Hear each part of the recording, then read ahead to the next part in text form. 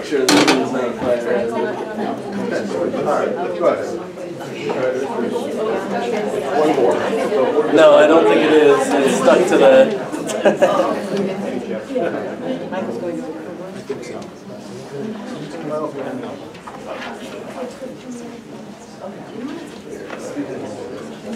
Which one? This way, so we're not locking out. Right now, All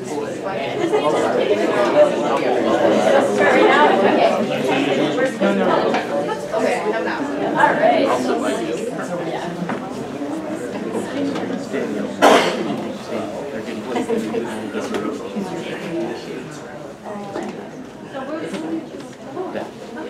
Hi, everybody. Um, Good morning, class. My name is Hannah Kaplan Hartlaub, um, and we- welcome to the first session of our teacher research presentations. Thank you so much for being here and, um, you know, bearing witness to the slice of life that we're gonna all have in our presentations. Um, I'm gonna go first, and then we're going to hear from Pan Chu, and then we're going to hear from Chelsea Larson. So that's the plan for today. We're going to take questions if there's time um, about all three presentations at the end of the session. Is that what we're doing? Yeah. That's what we're doing. Yeah. Yeah. Um,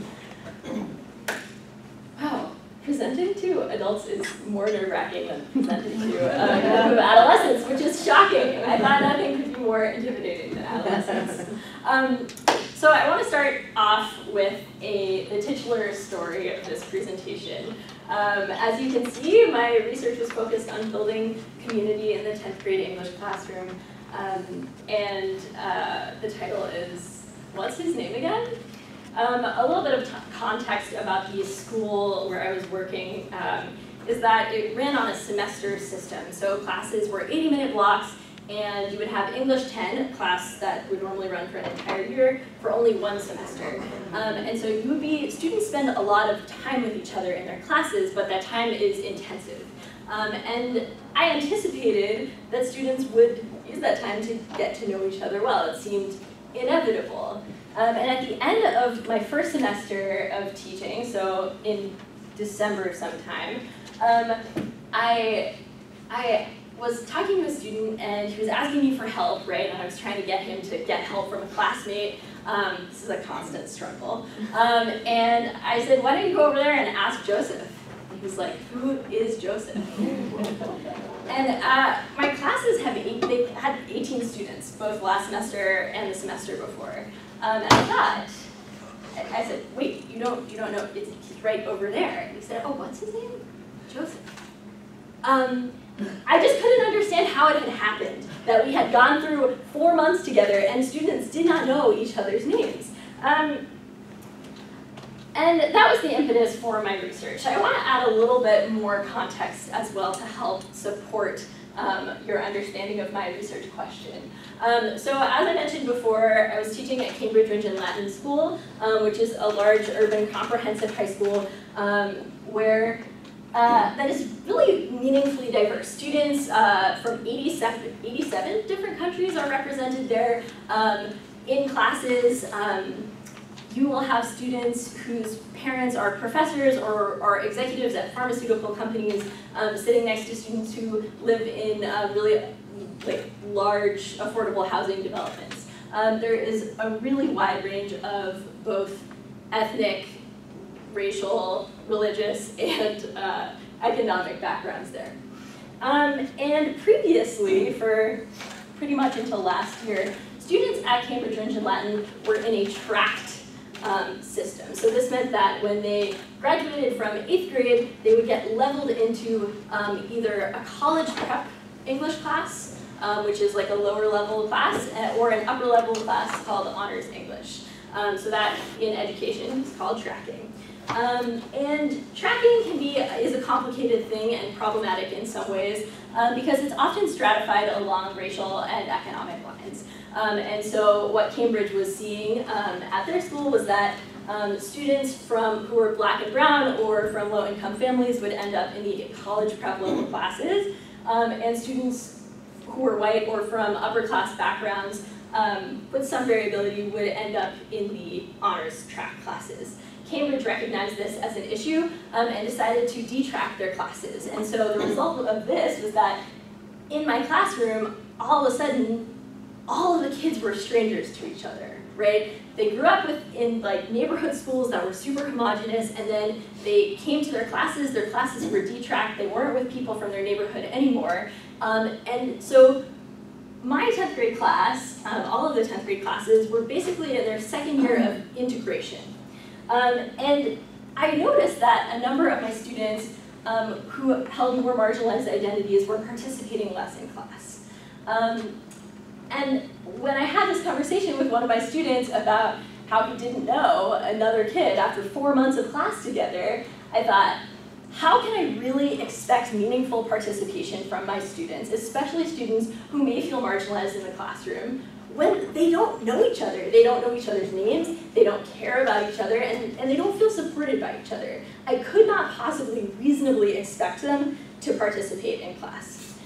Um, and so I wrote an unwieldy research question. Um, I am an English teacher um, that is in two pieces. The first piece is how can I build a classroom community in which all students know each other by name and have a genuine interest in each other? They have a genuine respect for each other. And then, because that wasn't going to be enough, I thought, what impact is this going to have on classroom discussions? Is getting students to care about each other going to help them participate more meaningfully um, or just more in class?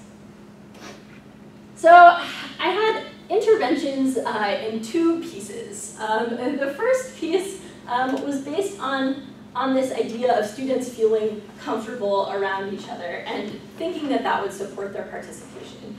Um, and so I did this in a number of ways. We played a lot of name games. Um, we did some sociometry, which is where like people get up and they stand on one side of the room or the other based on how they identify or what they like to eat for breakfast. And um, I even used these bizarre getting to know you cards that my mentor teacher had from the 90s where students work together in pairs talking to each other. Um, and it worked. So um, I have a meme here uh, that really represents um, an experience I had after students got to know each other so we started out um, we started out with class being extremely easy to manage. Um, right, they were super quiet because they didn't talk to each other because they didn't know each other, um, and that made our class discussions sparse, but it also made our transitions quick. Um, and after we got to know each other and students liked each other and enjoyed each other's company, um, they learned each other's names and they became extremely difficult to manage, right? They uh, were having such a good time. They were so, so chatty. And um, getting people to move from one uh, activity to the other um, became quite di difficult. Um, and so here, yeah, this is an image of you waiting for it to be quiet. Yeah, it took a really long time. So, okay, so that's cool. So let's return to this research question. My first piece, how can I build a classroom community in which all students know each other by name and they have a genuine interest in and respect for each other?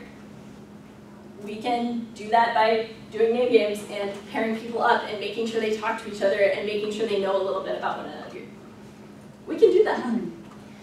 And was I noticing that this helped class discussion like at all? Um, yeah, it, it didn't. It really didn't. Right? um, so uh, people were super chatty, and then when I asked them, okay, so what did you notice in this poem that we just read? Silence, or the same people participating as before. So um, that's when phase two of the interventions came. Um, I realized that um, community building work in the classroom, if I hoped for it to change the way our class um, participated in discussion and actually built in meaningful ways on each other's knowledge. Um, I needed to orient our community building towards collegiality, right? So that students needed to have their community building as part of the content of the course. They needed it to be um, academic because as it turns out, just because you're friends doesn't mean that you know how to interact and in an academic context. Um, it doesn't make you comfortable talking about your ideas. So we shifted, I shifted gears um, and worked on changing our community context to one that was more academic. I did this in a few ways. Um, we, I designed a unit um, that was called the American Teenager Project. It's part of a national um, photojournalism inspired, uh, how would I describe this? Photojournalism inspired uh, like narrative unit. Um, and that involves students interviewing each other and writing profiles about each other so they could learn about writing personal narratives, learn about profiling each other, learn about interviewing and pre-drafting, um, and really honor each other by talking about who their peers were, but doing that in an academic context, using their English skills to do so and honoring their peers by using their English skills to talk about them. Um, similarly, we did work in literature circles where students were working in small groups. Um, students had really structured partner work. Um, so they would write a poem and then actually analyze each other's poems as though they were written by real authors because our students are real authors, right? Um, and we also worked on deep listening and talk moves, um, something Chelsea might get into a little bit in her presentation, um, in which students uh, were learning how can I actually ask someone about their thinking, right? How can I actually listen to someone meaningfully? How can I build on what someone said instead of just kind of sharing my idea and then another person shares their idea and those ideas don't interact or support each other. So we worked explicitly in many different ways on building our community into a collegial one, an academic one, beyond just a social one. So I should have mentioned before this that um, I did some research. this is a research project. Um, I did, I uh, had a couple of different ways of measuring the changes in our class um, and uh, seeing kind of where the shifts happened in terms of our community socially and um, academically. Uh, and the one I'm going to speak about most today was a survey. Um, students took a pre-survey and a post-survey, so about a month in, this was a little bit after we had done our name games, but not too deep into the name games. Um, they had a survey and then they took one at the very end of my time teaching there. Um, this is the one about students' names. I think we've covered this. Most students learned 100% of their peers' names um, in the first month. Um, but this, this is kind of our more meaningful stuff. So um, this is a survey, um, or this question is asking students to respond um, always, sometimes, or never to, I think my class, classmates listen to me during whole class discussions. Um, there's a pretty significant shift. Um, nobody said never, which even at the beginning, which is a nice thing. Um, and students who were saying they only sometimes thought their peers were listening to them in class um, was reduced quite a lot uh, to 39% by the, uh, by the second survey. Similarly, um, you have the flip side of this. I listen to what my classmates say when we're having whole class discussions. Um, we had many more students who said they were always listening in February, but by the end, even more students said they were always listening to each other when they were having whole class discussions. Um, I do want to share that, you know, these surveys address the question of listening as kind of a respect that students might have for each other, but it doesn't really address the ways that students um, build meaning together in class, and that's kind of a piece of research that um, I try to get out with my next with my next piece, um, but also is something for my future research. Um, at the end of the survey, um, I had an open response question. Um, that's always an adventure. Sometimes people really go for it. Um, I asked students, if you were in a small group and you noticed a group member seemed nervous and they were not participating, what would you do about it? And I got three, I grouped responses into three varieties. Um, the first group um, is the like emotional support group. So if someone seems nervous, they'll say, um, are, are you okay? Or they might say, I made a joke to make them feel comfortable, or something like that. Um, the orange group are students who say IDK, right? Actually, it's so many responses that said IDK. Um, or, and the last piece is a collegial invitation, which is where students say, um, maybe I ask them what they thought about the reading, or I ask them about something they said earlier in class to bring them into the conversation. And at the beginning, there, we see a slight shift. It's not a dramatic shift, but it is a slight one. That um, earlier, when I first took this, fewer students were inviting each other in in a collegial manner by asking, what did you think about this? And we're just kind of leaning more heavily on the emotional support, like, are you okay? Um, later, we had fewer students who were doing nothing, um, and more students uh, who were inviting each other into the conversation in a collegial manner. Um, lastly, we tracked student participation um, in class by hand, via hand raises, right? So this is another piece that's kind of quantity of participation um, and doesn't as much deal with whether or not participation is meaningful. Um, but we didn't count people who were like, can I go to the bathroom? Can I go to the bathroom? Right. Um, so earlier when we initially took our data, um, five students were, of 18 students were only participating consistently in class. Um, and we got, we added a few more students um, by the end. So what do I take away from this, right? This is a survey of 18 kids. One student really moves the percentage pretty far over. Um, and as we said, uh, and as Shanae mentioned, um, teacher research is about individuals, right? So I offer these pie graphs to you, knowing that really this is about seeing if we can get one more or two more kids to feel comfortable in the classroom, like that is meaningful enough to me. It is more meaningful even than the moving my percentage over slightly in my pie chart. Um, I just want to address, I'm running out of time, but the second piece of this question, what impact, if any, is cultivating this community of people who care about each other having on classroom discussions? It's kind of, it's kind of doing that, right, is the answer. Um, it is making students demonstrate more, slightly more engagement. Um, they look physically more engaged, they seem happier to be in the classroom space, and some students are participating more by the end of the class um, than they were at the beginning. Um, my general takeaways and learnings from this process are that community really matters in the classroom. Um, and the type of community that you are building in the classroom is what matters most. It is um, crucial for students to care about each other or at least respect each other and have some interest in each other. Um, but also you cannot expect that because students know each other socially and like each other, that they'll be able to engage with each other in a meaningful way in a classroom. Um, you need to offer students the tools to build a collegial community um, beyond offering them a name game, right? So you need both of those two pieces. I think next year, um, what I will do is incorporate both of those, but work harder um, and be more explicit at the outset about how to um, support students in conversation with each other um, and in academic engagement in the classroom together. Um, thank you so much for listening.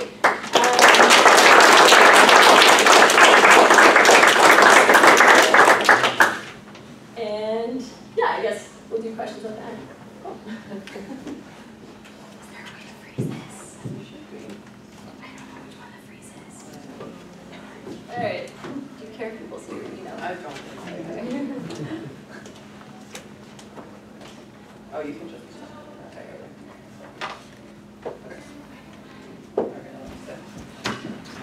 All right, hi everybody. My name is Pam Chu, and I will be presenting my research. Um, and mine's focused more on reading comprehension, and specifically in what I'm calling an MCAS-driven classroom. And I'll explain a little bit more what I mean by that. So just for a little bit of context, my placement was at Framingham High School and I was there for the whole year. So I was there as well. I did a, what we call a mini placement to work with English language learner students, um, but I stayed at Framingham. And so um, by the spring semester, I was working in a bunch of different classrooms. But for this research, I'm focusing mostly on my 9th and 10th grade biology classes, which were at the college prep and advanced college prep levels, which are like the lower two levels at Framingham.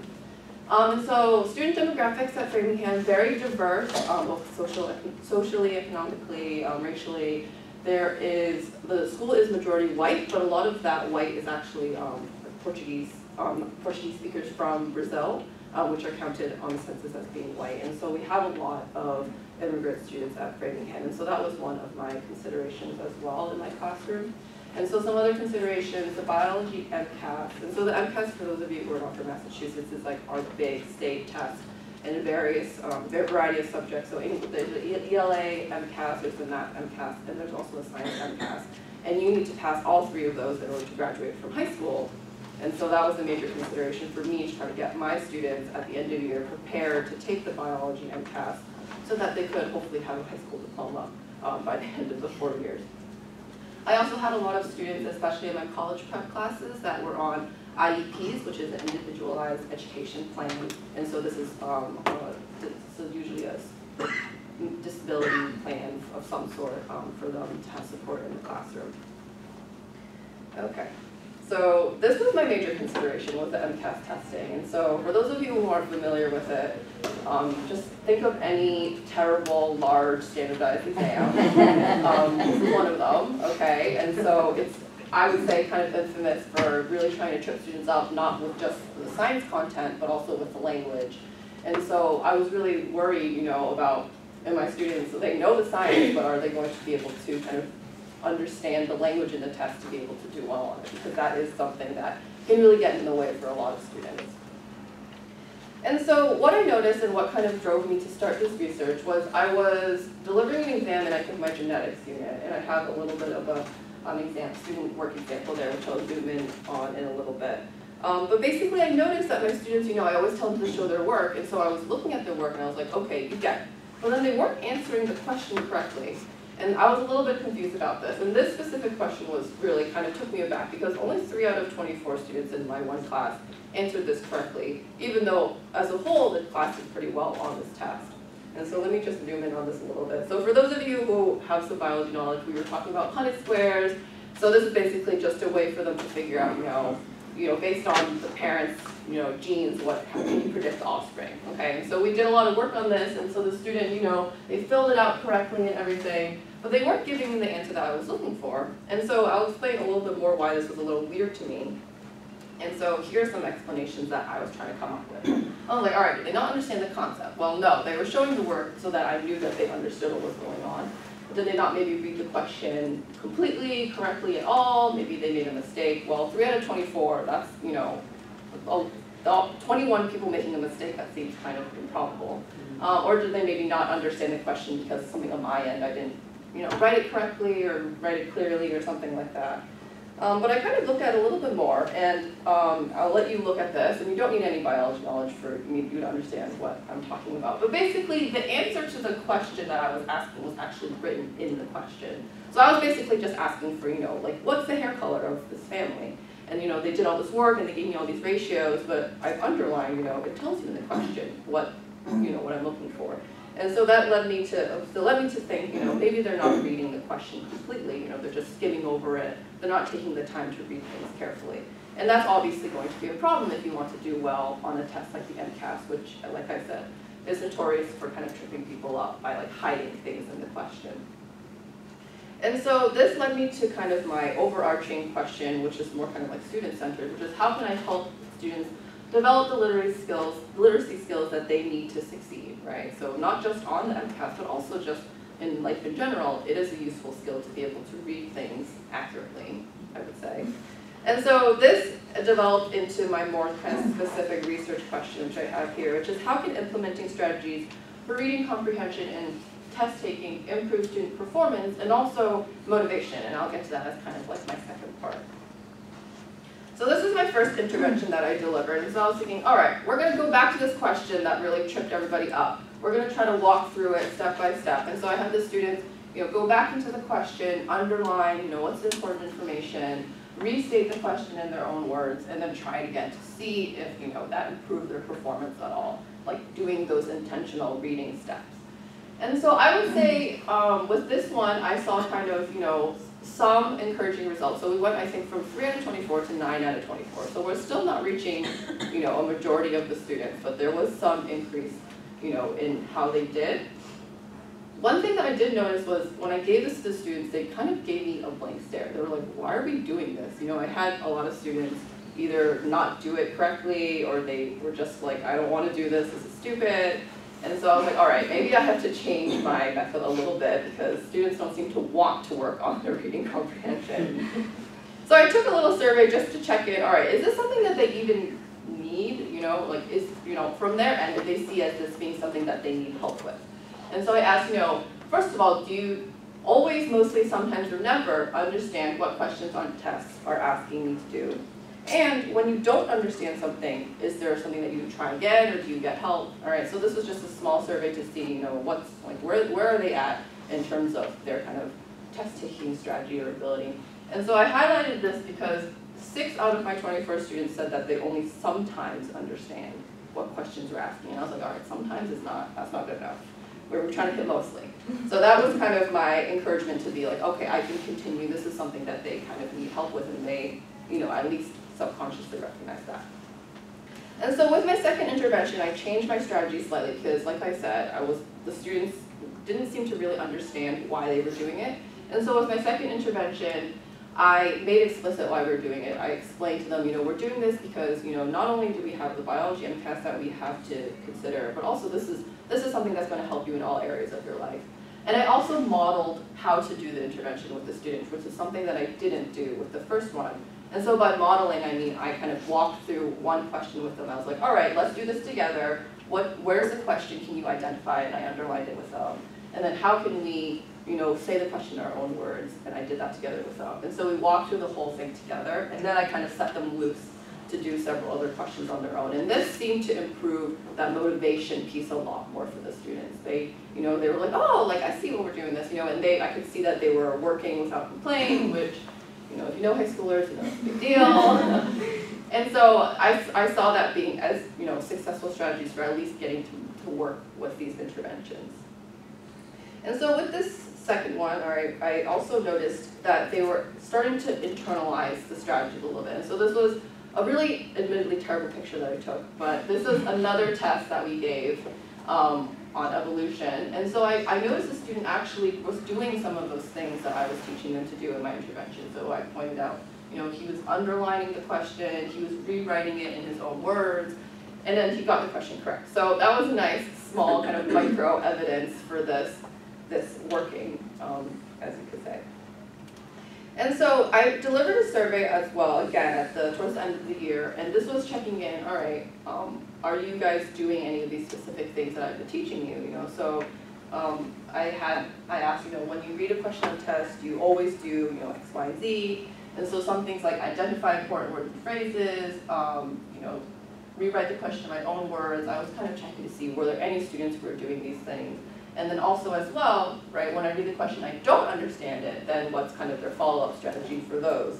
And I found that, you know, I had an increase in percentage of strategies that I marked as being, you know, more related towards reading comprehension. And so that was a little encouraging um, evidence for the students at least internalizing the strategies that I was teaching. And so here are some more numbers in terms of performance. And so that was one piece of my question was, is it going to improve performance at all? And so this was the first thing that I looked at was just the specific questions that I was delivering interventions on because all those questions that I had them kind of go back and do were for were from previous assessments. And so I have I just picked out two questions and I saw, you know, there was a slight increase um, in the proportion of students who were doing this correctly. But of course, you know, it might be that they got to see it again, it might not just be because of the strategy, right?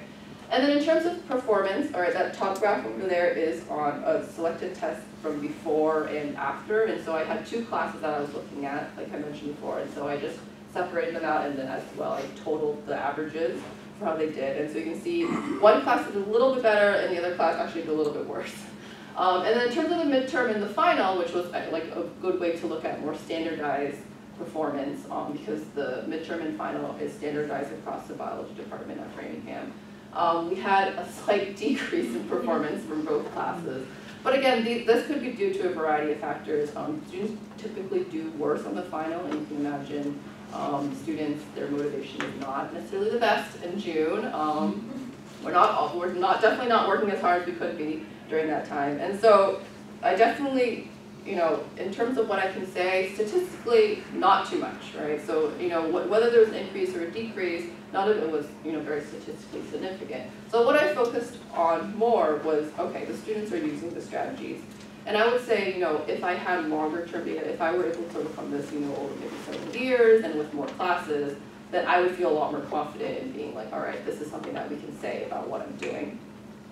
And so in terms of major lessons, you know, what I got out of this was that strategies, they need to be modeled so that students know how to use them, right? So the difference between my first and second interventions was that I was showing them how to do it. And so that seemed to help them a lot in terms of like, oh, like this is how, this is what's expected of us. And then my second lesson was also that they need to be used consistently for them to internalize the practices. And so this is something that I noticed, you know, you know, not just with these interventions that I gave, but also just with any lesson that I delivered in general, was that students need to be able to practice things. And that seems like a common sense sort of statement, but I felt like this really drove the point home for me. So in terms of reflection, um, looking back, I, I set up as sort of a series of questions to not only look back, but also to look forward. And so thinking about, you know, as I move on, so my, my placement next year is going to be in a school where I don't have to contend with the MCAS, thank goodness. Um, but the, these things I learned can still be really applicable in a classroom, you know, without the MCAS. Like I said, these are skills that are really essential, regardless of whether you have to take a state exam or not. And I also would be really interested as well to think about um, what types of reading misconceptions that do high school students have? Because in science pedagogy, we talk a lot about, you know, misconceptions, like people think this and that, you know, that is incorrect about science. But I think this is something that you can find in reading as well. Like, not only why do you need to read well, but also like, you know, how to read effectively. I think there can be misconceptions about that. And finally, just how can I integrate these skills being a new full-time teacher, you know, I'm moving from being a full-time student to being a full-time teacher, and they always tell me the first couple years of teaching is the hardest, and this is something I learned from my mom, who is also a teacher. um, and so how am I gonna be able to kind of do these things while I'm, you know, struggling with all the other things that come with being a new teacher? And so I'll leave you with this final question, which is what I would like to work on if I did have, you know, kind of the time and the resources, is to work more on that